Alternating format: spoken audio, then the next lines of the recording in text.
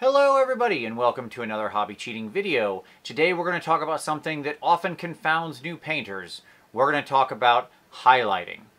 Let's get into it. Uh, the strict technomancer that is Vince V. Let us get to the technique and learn it Vince V style.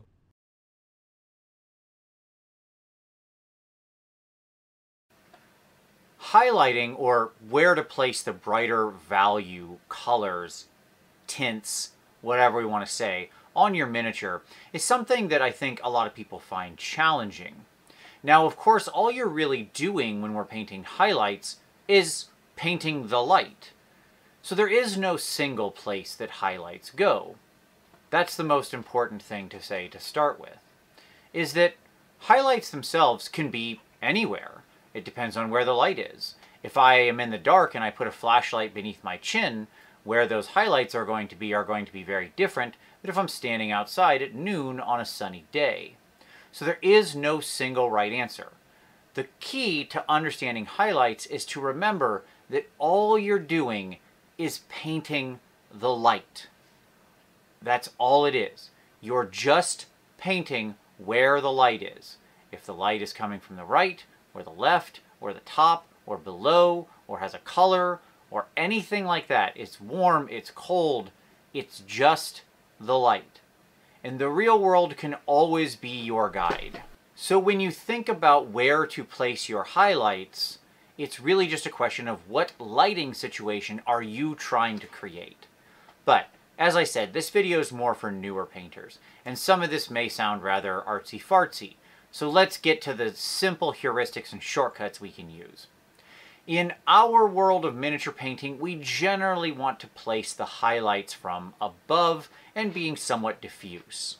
That is to say, if you're painting figures for a game, you want them to look good on the table, and you want to imagine the lights coming from above on the open battlefield that they happen to be occupying at that moment, because that would be the pretty standard outdoor lighting situation.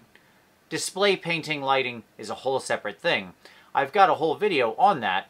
You can find that linked up above. But that still leaves the question of where do we place the highlights? Today I'm going to take you through two simple methods to place your highlights. Let's head over to the painting table. So, what are the two tips? That's the first question. Well, before we get to those, I want to talk about how I'm approaching this figure. Right now, this is our new Deathmaster, and he's just base coated. No highlights whatsoever, just flat colors.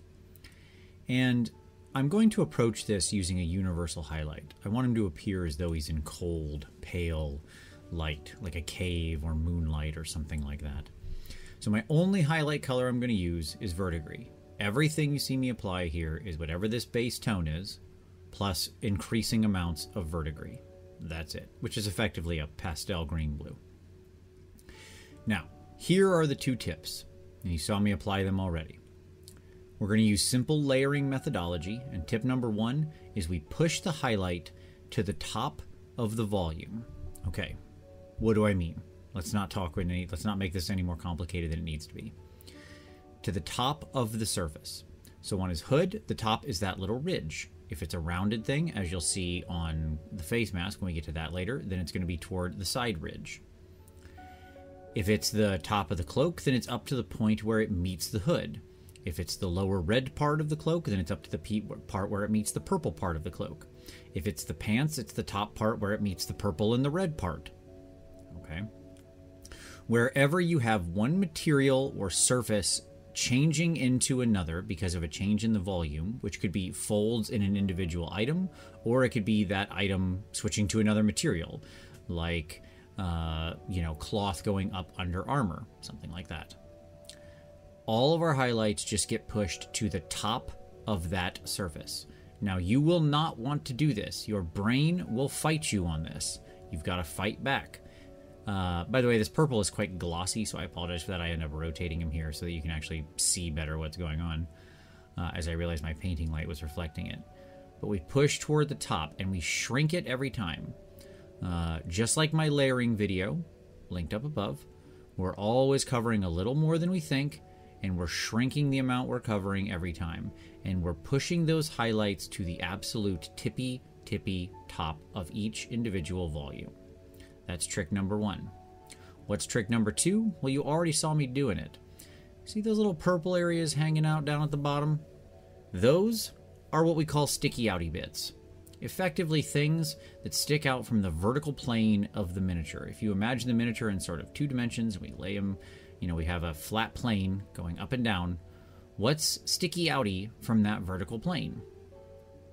Now, I way over highlight this intentionally so that I can just glaze it back and smooth it together, same as you saw me do in the layering video. And you'll see how I use the glazes differently on each of these surfaces to draw things together. Here I'm just using the thinned purple, which makes a wonderful glaze. Uh, I actually thinned it completely with ultra matte varnish, so that way it uh, mattes out and isn't a total glossy nightmare, and smooth out all those purple layers. I know this method might seem strange to begin with, and it is a shortcut. It's not always going to be right, but for the most part, when you're painting your troops, be they space marines, sci fi figures, fantasy stuff, it doesn't matter. Using this kind of a trick where you push the highlights to the top and you and then highlight the sticky outy bits can really be a great simple shortcut when you don't know what else to do. And it makes it look really compelling and convincing. The reason it makes it compelling and credible and convincing is because it creates a singular lighting scheme. One of the most important rules in lighting is consistency. And using a shortcut like this, even if not totally realistic, and look, we're painting tiny plastic people, some part of this is about art and fun. This isn't about rivet counting and realism all the time. So even if this isn't realistic, it can still look credible because it's consistent. And when the brain sees a consistent lighting scheme, it goes, yep, got it, that works for me. So remember, we're pushing to the top and to the pushy outy bits, the sticky outy bits. Top and sticky outy bits. Uh, again, here on this red undercloak, I guess is what you would call it, uh, sometimes that can be challenging. When you have these large flat planes with your initial layers, you might cover the whole surface that's sticking up. And that's fine, because when we build the layers, we always cover more than we need on something like the hat where it's a round or his mask i'm sorry his face mask where it's a rounded top. Instead we're going to push it to each side of the head which is effectively the top of that side. And as i go down you'll notice i start leaving some of the shadow in the middle. So where the thing turns away from facing directly upward or just in the middle of the area where we're going we're not at the top anymore but we're also not at a sticky outy bit we just don't highlight that all the way up. So we just keep integrating more and more verdigris and pushing towards the top and the sticky outy bits. Now, the top can mean two different things.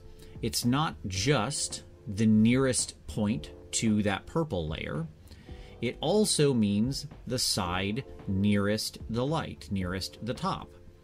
So you'll see as I go here, especially on the back cloak, that I start forcing it more to sort of the right side from your view right now uh, than I do to the left side. So, like right here, I'm tracing that line down the top right of it, the top part, and then the sticky outy bit, which is specifically the little part of it that flares over his tail. Now, what else are sticky outy bits? Why, edges are sticky outy bits. Because edges uh, both act as sort of the top of the surface, the general edge, and they tend to stick out as they do on his mask here. That means that we need to make sure to give them a highlight, hence an edge highlight. Now, we don't circle around every edge. We don't necessarily need to highlight the upward facing edges, but we want to make sure, especially those those edges, or sorry, uh, highlight the uh, downward facing edges, but the upward facing edges we certainly highlight. Here I'm using the burgundy glaze, again, just to draw everything together, just like you saw me do with the purple. I apply it and then feather it out and get sort of the, the smoothness that I'm looking for. All right, let's talk about highlighting black. So in this case, I'm just going for pure black. His pants are meant to be black and rather uninteresting. He is a, a ninja assassin after all. And so I'm just pushing very vaguely into the gray tones. And this is where we talk about different materials you don't need to push every highlight to the same level of contrast. So in, with his pants, I don't go as many steps up as I did with the purple. The purple and the burgundy are dominant features. They're very exposed, they're very up high, they're very in the light. They're the top of the, the total volume, the complete miniature. So I really want to push those way up high. Whereas here, you'll notice the pants stay much more subtle. That's because both they're lower on the miniature, but they're also a different material, being more matte and something that doesn't reflect as well. Non-metallic metal poses a few extra challenges, but we can use the same rule of the top and the sticky outy bits. And this armor plate on his shoulder will illustrate this perfectly. So we start by pushing the highlights to the top, but I carry them through the center. Notice that my brush stroke has changed slightly here. Whereas before, I was doing these long, smooth brush strokes. On the metal, I'm doing these hashy, short brush strokes. That's another that's another way to show the difference in the material. But I'm still pushing the highlight towards the top of each change of material and the sticky outy bits. In this case, uh, each of these armor plates has a little ridge on it that I'm making sure to highlight. That's the sticky outy bit here. The edges of it are also sticky outy bits, as aforementioned. Notice that each time I shrink it and I'm putting a lot more highlights up toward the top of the shoulder, right what's resting against the purple, than I do against everything and than I do anywhere else. Notice also that I leave that black line in there in between the two, and that black line is really important. That's an occlusion shadow in between these two areas. And that occlusion shadow is something your brain very much expects. And having a light, dark, light transition helps sell the overall effect. With the non-metallic metal, I go all the way up. So whereas with the pants, we were very subtle with the highlights, we didn't push the contrast. With the non-metallic metal, we're going up to pure verdigris. We're also making sure to put in bounce lights, hitting those hidden edges on the other side. Non-metallic, you have to go a little bit farther, and in it, and you have to hit whatever's opposing your light with a mid-tone highlight as well. That left side of what you saw there really brings it all together. Here again, I'm glazing with a little bit of my original dark sea blue, just to and then feathering it out, just to help smooth those different blends and bring it all together because I was being rather hashy and dashy. But I do go back to the verdigris again and make sure I get a nice bright shine point right at the tip tip top because the metal has to be highlighted in a much more extreme way and have a much higher contrast to sell as that material, whereas the cloth doesn't need such a run. You thought we weren't going to talk about the skin? Oh, of course we're going to talk about the skin. Now, again, I do all of this skin using basically three colors, you'll see. Cork and, and verdigris are where we're starting out, same as everything else. By using the same universal highlight color, I create a credible lighting scheme as though the light is all the same. He's in cold light, so everything has a cold highlight. Once again, I'm pushing to the top of the muscle structure in the leg, and then the sticky outy bits, which in this case is his heel, which is jutting out, the bottom of his uh, feet and toes, his little toesies, because those are sticky outy, and his ankle bone.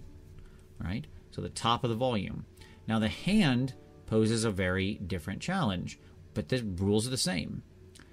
Right at the top of the hand, where it matches, where it meets those little leather straps, is where I push the highlight, and then my sticky outy bits are just the knuckles. The knuckles are sticky outy from the plane. Boy, you're gonna all be sick of me saying that by the end of this video. I hope I've drilled it into your heads enough. Uh, but you can see how again we just run that highlight right up to the top, and then on each knuckle. And what we're doing there is alternating light, dark, light, dark, light, dark. And the more times you tend to alternate those value jumps, the more visually appealing the model becomes because it becomes more easily readable. And uh, now, a slight difference I still apply a glaze to smooth it all out, but this time, instead of doing my original cork, which would be boring, we need to also add a little hue, a little color into the skin. So I take the burgundy that I used for the cloak, thin that to a glaze, and that's my glaze for the skin to smooth it, adding uh, in some additional hue, but not affecting my highlights. Even things like poison, or this drippy venom, whatever it is, we're going to do the exact same way. We mix in a little verdigris, and we want that to really pop right at the top, right where the light would catch that liquid, and then on the bottom drops, which are effectively sticky outy bits. Now here I cheat a little because at the end I take some golden fluorescent green and go over everything which is very transparent and will very much respect the highlights. My glaze here is just thin fluorescent green. There's the Deathmaster all finished. He's ready to go. I think he came out pretty cool. So you can see how what we did is push those highlights up to the top and then all the sticky outy bits. That's what it is. Top and sticky outy bits. Those are the two rules you need to remember when you're not sure what else to do. I hope you found this helpful, especially if you're a newer painter. Obviously, we're going to roll some images over the top here of the Deathmaster. I do want to thank you very much for watching this. Hit like if you haven't already. It helps other people find the channel, and I really appreciate it. Subscribe. We have new videos here every Saturday. Uh, we do have a Patreon focused on review and feedback, so if you're looking for additional coaching to take your uh, next step on your hobby journey, check out that link below. It also gets you access to a really cool Discord community full of ultra supportive hobbyists. But thank you again for watching this. I really hope you enjoyed it. I liked painting this guy. And as always, we'll see you next time.